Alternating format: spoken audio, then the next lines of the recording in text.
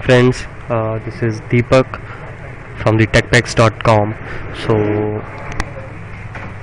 image processing. Might be the people are interested in uh, knowing that what actually it is. So this is basically the any kind of process which we are doing on the image represents the image processing.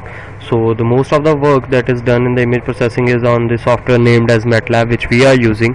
So today I am here to represent you a project that will show you that uh, uh, edge detection section of the image processing uh, for that we are also using the some uh, soft computing technique. The name of the technique is fuzzy logics. So the edge detection which we will uh, do in this will be on the basis of the fuzzy logics which having the rules and uh, the inputs and the outputs on the behalf of which any kind of the system can work with.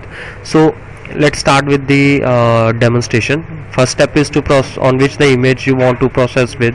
So let's move to the uh, project name as this one having the image this. So the image will be shown here on which we will process. Then a fuzzy system will be created in which the number of rules the number of values and the uh, calculated signals will be shown. The fuzzy system initialization will be there. That uh, what are the inputs and what are the outputs for that. As you can see there are two layers lx and ly which are showing that the input of the image the coordinates of the value. And uh, on the behalf of that either the uh, sample will be black or white. So it will show you the edges of that image.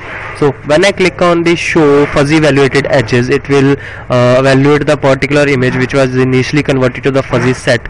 Then this is the finalized image which is obtained after the fuzzy edge detection technique. So hope you understand the concept of the fuzzy. Fuzzy is basically a soft computing technique which will take used for taking the decision in any kind of uh, process. Either it will be in wireless in image processing in uh, DSP and many other things. So hope you people like this video. Uh, for more details on the fuzzy logics and the edge detection you can visit our website and can get the results. Thanks for watching the video